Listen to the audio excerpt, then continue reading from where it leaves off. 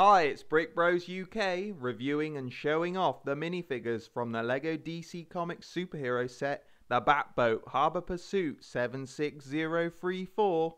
The LEGO Deathstroke minifigure has been wanted by fans of LEGO DC Comics superheroes for some time. It's exclusive to this set and worth buying for this figure alone.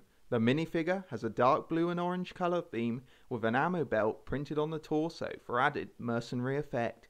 The head is printed front and back with a printed on mask knot. Deathstroke has two silver katanas, which he is famous for, and a pistol. The Deathstroke minifigure in this set is similar to the one seen in the LEGO Batman 2 game, as you can see here. Overall, it's great to have a LEGO Deathstroke minifigure, and it adds another new LEGO DC Comics superhero to your collection.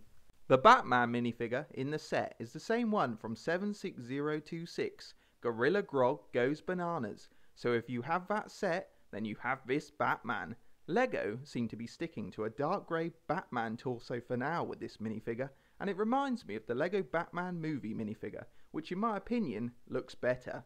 The dual head continues to have a white band to work with its mask, and it comes with a black cape, which is very thin. Surprisingly, the LEGO Batman minifigure doesn't come with a Batarang, which is a shame. Overall, it's a great figure if you haven't got one. The Robin minifigure has a welcome change with normal size dark green legs. The dark green colour also features on his hands. The minifigure is exclusive to this set and has new printing on the torso.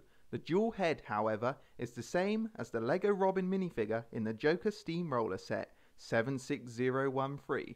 Robin also has a new hairstyle, still black, and a black cape, which makes a change, but also gives the figure an overall dark tone.